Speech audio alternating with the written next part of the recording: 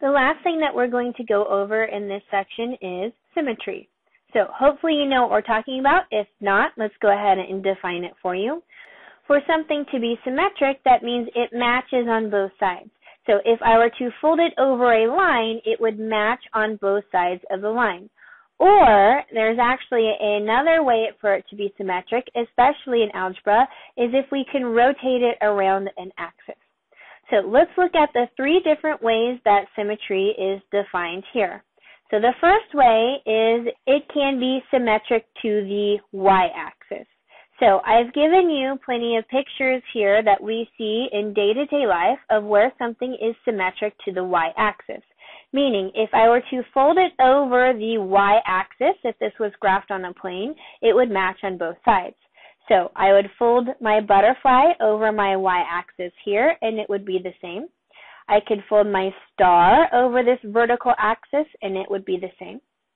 I could fold this tree picture over my vertical y-axis and it match. Um, humans are interestingly enough symmetric to the y-axis, meaning that both sides of our body are exactly the same, whether we're looking at the front or the back view. And then if we look at the alphabet, we have quite a few letters that are symmetric to the y-axis. If I fold them over a line down the middle, they would match on both sides. So again, symmetric to the y-axis is when you fold it down the vertical axis in the middle and it match on both sides. So similarly enough, we can also have something symmetric to the x-axis meaning we can fold it over a horizontal or our x-axis and it matched there. Now this tiger picture is not perfect because I don't have an exact straight horizontal line, but you can see that we're pretty close here. I can fold it over that and it match, or this scorpion, I can fold it over my horizontal or my x-axis. For my alphabet, I can fold it along any one of these letters here and it matched from the top and the bottom. Now those are pretty obvious to see. The one that might be a little bit new to you is when something is symmetric to the origin. Now that doesn't mean I can fold it over an axis. That means I rotate it 180 degrees or I rotate it halfway around the circle and it matched the same way. So all of these here are symmetric to the origin. If I were to take them I take a point on this end and rotate it 180 degrees, which means halfway around the circle. It would match up with a point on that end. So I just took a low point, but I could take any point in my grapefruit for this example, rotate it halfway around the circle, and it'd be the same as the point over there. Same thing over here on this cathedral window. I could take any point on it, rotate it halfway around the circle, and it matched with a different point there. Now we see this a lot in flowers. We see that flowers are symmetric. If I pick any point on them and I rotate it halfway around the circle, it would also have a point over here that matches. And we see that here with these leaves pictures.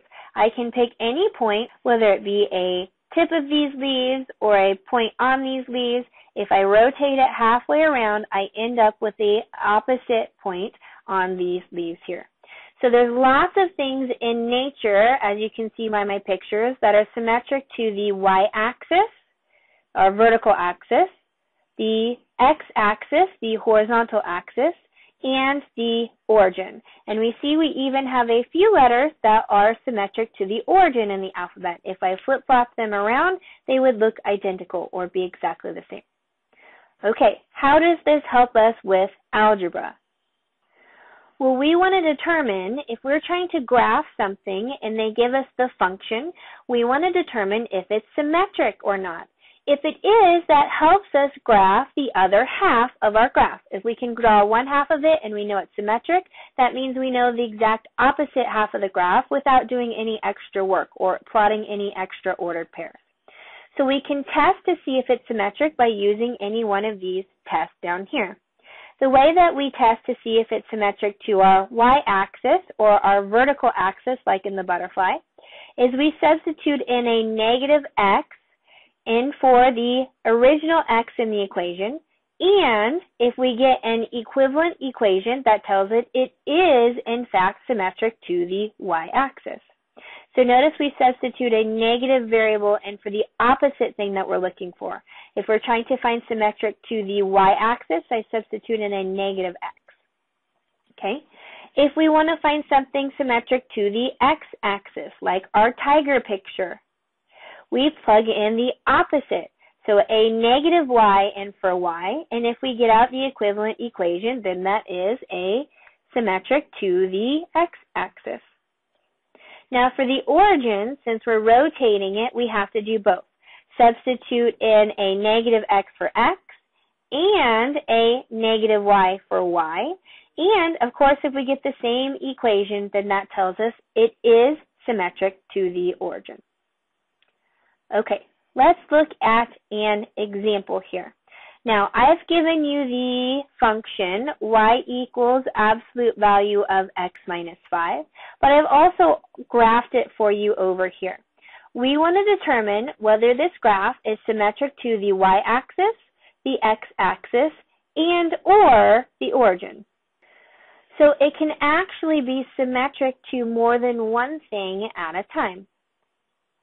Now, we can determine by the visual over here which one it is, and hopefully you know right away that this one is in fact symmetric to the y-axis because I can fold it on my y-axis and it match on both sides. So we want to figure out how do we actually test for that. Okay. Let's do each of the tests individually to confirm or deny that is symmetric to any one of these. So first, let's do our y-axis test. We do that by substituting in a negative x for x. So y equals the absolute value. Instead of my x, I'm going to substitute in my negative x. minus 5. Now we want to simplify this if we can. If you can't, don't force it and just go from there. We know absolute value always makes things positive. So does it make sense to have something as the absolute value of a negative value? That doesn't make any sense at all because it will turn it into positive. Now we need to keep this absolute value here because we still don't know what our x variable in fact is. We just know that it's going to be positive. So the absolute value of x minus 5. Notice we end up with the exact same equation that we started out with, so that tells us that this is yes, it is symmetric to our y-axis. Okay, let's do this test for the other ones. Let's do our test for our x-axis then. We know what we do is we substitute in a negative y for y. So instead of my y over here, I'm substituting in a negative y and that is equal to the absolute value of x minus 5. So the rest of my equation here, I keep exactly the same. So when I'm substituting, when I'm trying to check the symmetry to my x-axis, I only substitute in the negative y. If we simplify it, we can. We can't do anything with the negative and the y in this equation, so that means we've in fact altered our equation because we can't simplify it. So that tells us that this is no, it is not symmetric to the x-axis.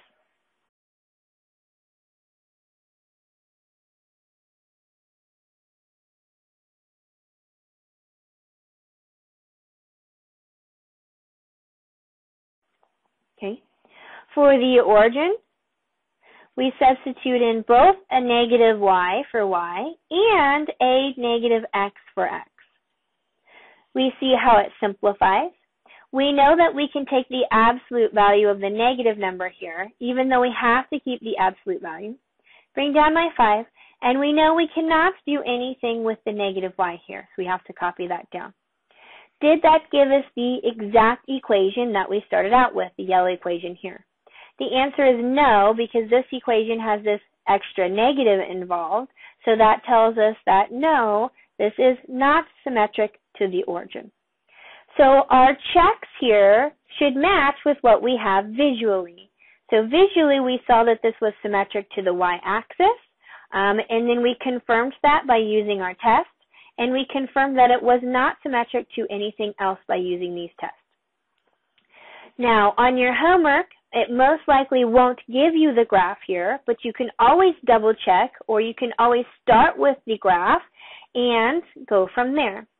Um, if you want to know how to graph the absolute value on the calculator, let me show you that. So to find absolute value on your calculator, it's under the math button. You want to go over to this number or NUM, so push the right button.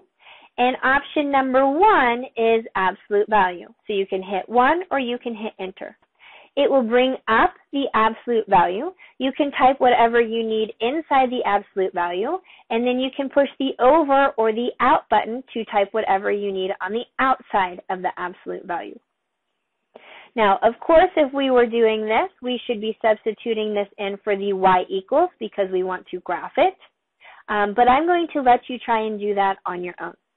If you have an older version of the calculator, it won't actually give you the official absolute value bars. It will only give you parentheses. So your graph will look like y1 equals, it will say ABS for the absolute value of open parenthesis. You type in x and you close the parenthesis to represent you're closing the absolute value and then minus 5. And that's how you would get your calculator to do it from there.